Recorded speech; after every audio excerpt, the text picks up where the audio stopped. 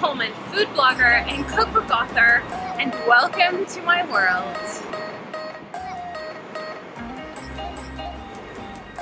So here it is, the final product.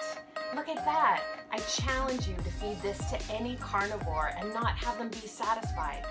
It's real, it's rich, it's meaty, it's caramelized, it's awesome, and it's completely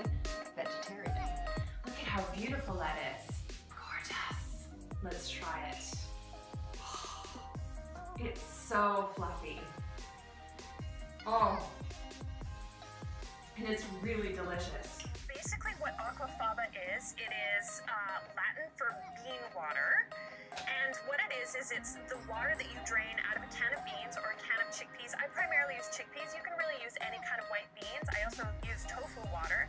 And basically what you do is most people drain out this water and they throw it down the drain. That's what right? we rinse the peas and and this stuff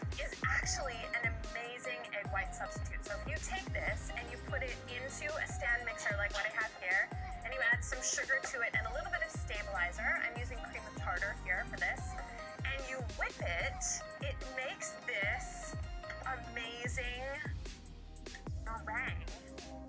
Exactly the same as if you were using like Yeah. a lemon meringue pie. there we go. Look at that! That is fantastic. Isn't that amazing? Yes.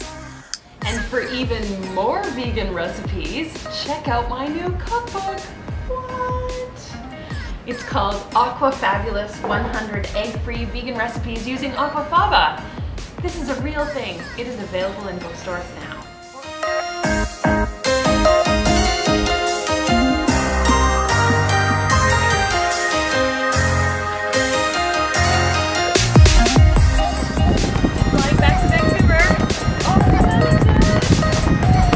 Sunday morning in Paris and we are at the Grenelle Market. Thanks for watching and don't forget to subscribe right below.